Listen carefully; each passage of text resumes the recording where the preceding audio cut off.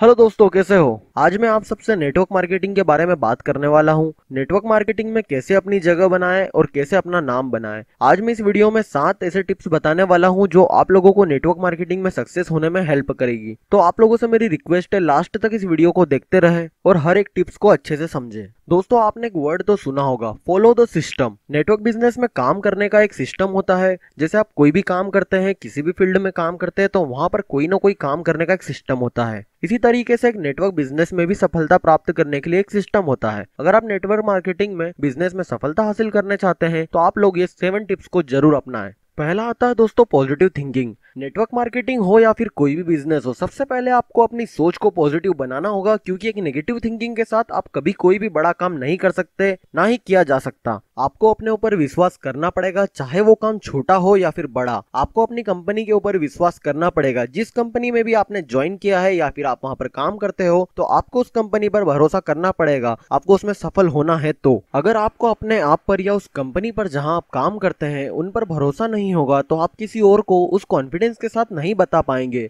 इससे अगर कोई नेटवर्क मार्केटिंग में आपके साथ जुड़ने वाला होगा तो भी नहीं जुड़ पाएगा, क्योंकि आप में वो कॉन्फिडेंस नहीं है जिससे आप सामने वालों को अपने आप पर भरोसा करा सको। इसलिए आप लोगों को हमेशा पॉजिटिव थिंकिंग के साथ काम करना चाहिए। सेकंड तरीका आता है make a list network business लोगों का बिज़नेस है, जहाँ कोई एक इंसान नहीं जो सब कर लेगा और सब संभाल लेगा.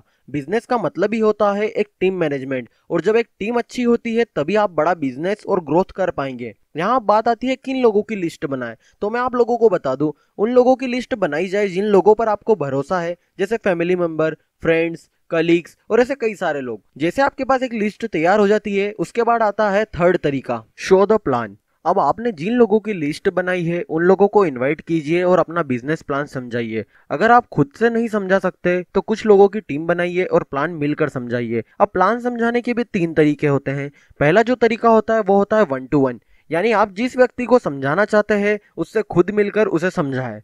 सेकंड आता है ग्रुप मीटिंग यहाँ पर आपको जिसको समझाना है, उन लोगों का एक ग्रुप बना दे और फिर उस ग्रुप में समझाए. थर्ड आता है यहाँ पर इवेंट मीटिंग अपने गेस्ट को किसी भी बड़े इवेंट में ले जाए, वहाँ उन लोगों को कई सारी चीज़ें देखने और समझने को मिलती है. साथ ही में उनके अंदर एक विश्वास बनता है और वो लोग बहुत जल्दी कन्विंस हो जाते हैं और आपकी बिज़नेस डील को ज्वाइन कर लेते हैं. इसके बाद फोर्थ आता है फॉलो अप इसका मतलब होता है उन लोगों से दोबारा बात करना जिन लोगों को आपने अपने इवेंट में इनवाइट किया था। क्योंकि जिन लोगों से आप मिले थे, जिन लोगों को आपने अपना प्लान बताया था, वो लोग घर जाकर उस पर सोचते हैं, उनके अंदर भी कई सारे डाउट आते हैं। ज़रूरी नहीं कि हर डाउट पॉजिटिव हो, कुछ पॉजिटिव होते हैं तो कुछ नेगेटिव भी होते हैं। जैसे ज्वाइन करे या नहीं, इसमें कुछ नुकसान तो नहीं हो जाएगा। तो इसलिए हमें फॉलो अप लेनी चाहिए और उनके डाउट्स को क्लियर करना चाहिए। और हाँ दोस्तों, एक बात ज़रूर याद रखें फॉलो अप इवेंट के चौबीस या अड़तालीस घंटों के बाद कर लें। फिफ्थ आता है दोस्तों दोस्तों स्टार्टअप जब आपके क्लाइंट ज्वाइन करे, तब उसे स्टार्टअप करवाइए। उसे एक बार फिर प्लान समझाइए। बेनिफिट बताइए अपने बिज़नेस के। कई बार ऐसा होता है कि हमने किसी को प्लान बता दिया, उसको बिज़नेस अच्छे से समझाया फॉलो अप भी किया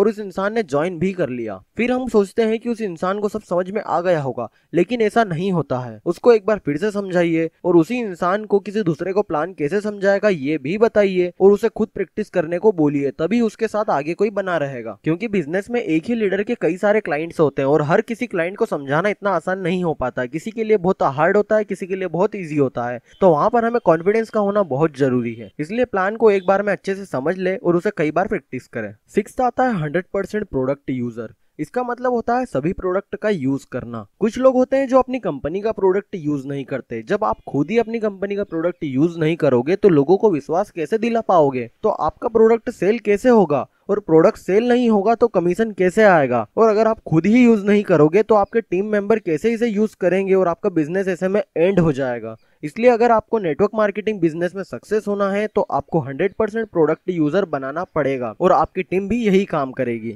आगे बढ़ते हैं और बात करते हैं सेवंथ पॉइंट की, जो है attend all meetings and seminar आपकी कंपनी में जितने भी मीटिंग सेमिनार ट्रेनिंग वर्कशॉप होते हैं, उन सबको आपको अटेंड करने चाहिए। क्योंकि ये बिज़नेस सीखने का एक तरीका होता है। अगर आप सीखने के लिए तैयार नहीं होंगे, अगर आप अपने कंफर्ट जोन को तोड़ने के लिए रेडी नहीं हो मीटिंग में जाने के लिए अगर आप तैयार नहीं हो तो ये बिज़नेस आपको कुछ नहीं दे सकता। इसलिए आपको सीखने के लिए तैयार होना पड़ेगा। और एक सीखने की एबिलिटी ही होती है जो आपको किसी भी काम में सक्सेस बनाती है। तो दोस्तों, ये थी सेवन टिप्स जो आपको नेटवर्क मार्केटिंग में सक्सेस बनाएगी। उम्मीद है दोस्तों, आपको हमारा वीडियो पसंद आया होगा और आपको ये हेल्पफुल लगे तो आप इसे अपने टीम मेंबर्स सीनियर्स जूनियर्स और अपने फ्रेंड्स के साथ शेयर ज़रूर करें। और इस वीडियो को लाइक भी करें। इसी तरह मार्केटिंग से रिलेटेड इन्फॉर्मेशन पाने के लिए हमारे चैनल को सब्सक्राइब कर ले और बेल आइकन भी दबाए ताकि आपको मिलती रहे आने वाले हर वीडियो की latest update thank you so much दोस्तों। फिर मिलेंगे अगली लेटेस्ट अपडेट में।